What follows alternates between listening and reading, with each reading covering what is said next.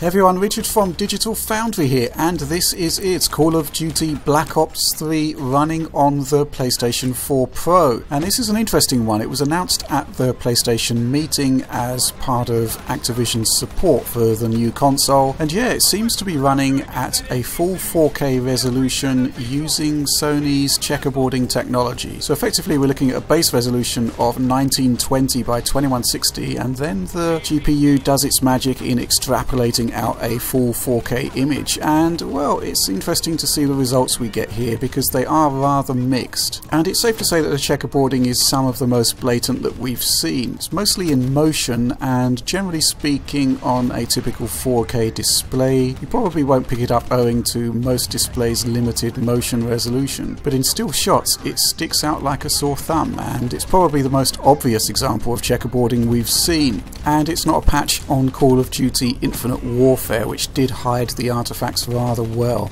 Now similar to that game there is quite an advanced post-process effects pipeline but it does feel somewhat less sophisticated and it's particularly evident on motion blur. There's a kind of ringing artifact that we see there. It's really quite unattractive. Generally though in motion hard to pick up. So now we're moving into a stress test area which uh, we've picked out for a bit of performance testing here because it shows up the strengths and weaknesses of the Pro implementation. You can see here that the overall performance in less stressful areas is actually pretty good and it's holding 60 much more than the standard PlayStation 4 but as soon as the engine is stressed you can see a massive differential and it is in favour of the base hardware. Can see that massive screen filling explosions there are really causing issues for the Pro. And we're seeing a typical sort of double buffer VSync here where each frame is kind of exceeding its 16 millisecond render time. So it waits for the next screen refresh and effectively it drops the frame rate down to 30 frames per second in these areas. It's really quite obtrusive and not very impressive at all. But as we move out of the stress area you can see that the Pro sort of takes point again producing a more consistent 60Hz refresh but it is the inconsistencies here that really cause problems. But you know, as we approach the end of the stress test, you can see that the base PlayStation 4 also has issues as well.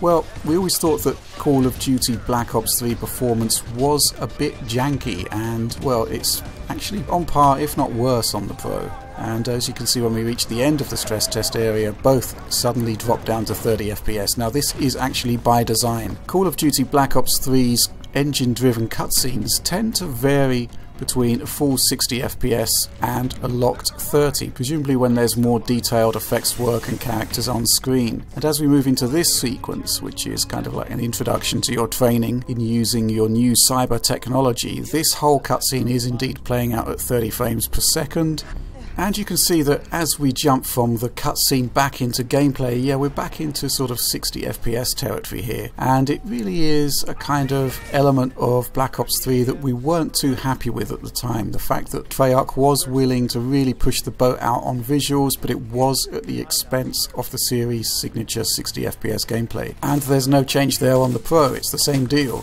30 to 60 as we move from cutscene to gameplay. But there are some levels where we do actually see a really improved level of performance generally, and it's mostly in scenes where there isn't any kind of screen filling explosions. And this is an interesting point actually. It's an element that we've seen causing problems on Pro titles. Transparencies are really taxing on the GPU, and obviously with the Pro now effectively producing a 4K image, well, if you look at the Pro specs, memory bandwidth hasn't scaled in line with GPU power, so there are going to be some areas where the game actually runs smoother and quite a few where they don't.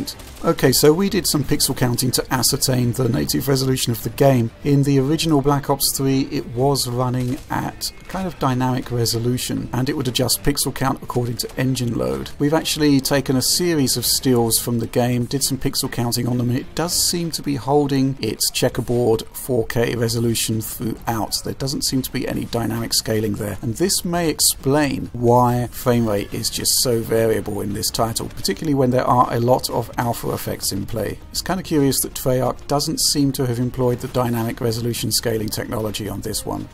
So overall it's been really interesting to revisit Call of Duty Black Ops 3 on the PlayStation 4 Pro and it kind of stands in marked contrast to Call of Duty Infinite Warfare. Now obviously Treyarch is working on its next Call of Duty installment which is going to be due in a couple of years if the three year development cycle holds true. So we shouldn't really be expecting the studio to be investing a huge amount of time in producing a really polished experience for PlayStation 4 Pro owners, particularly when retrofitting checkerboarding technology to a year old codebase isn't exactly going to be a trivial task. But at the same time, well, once again, we are going to have to refer you to those PlayStation 4 technical requirements, which do say that Pro titles should be running at the same frame rate or faster than existing base PS4 games. And in the case of Black Ops 3, as we've demonstrated, it's sort of one or the other. It's not really consistent at all in really taxing scenes. That's a bit of a shame, especially when its stablemate Call of Duty Infinite Warfare is producing such a consistent, locked fantastic looking experience overall. And at the same time, it's not as if Black Ops 3 is a dead game that's being resurrected here. Some sources are saying that its engaged user base is actually on par with Call of Duty Infinite Warfare, which has just come out, which is quite a big achievement overall.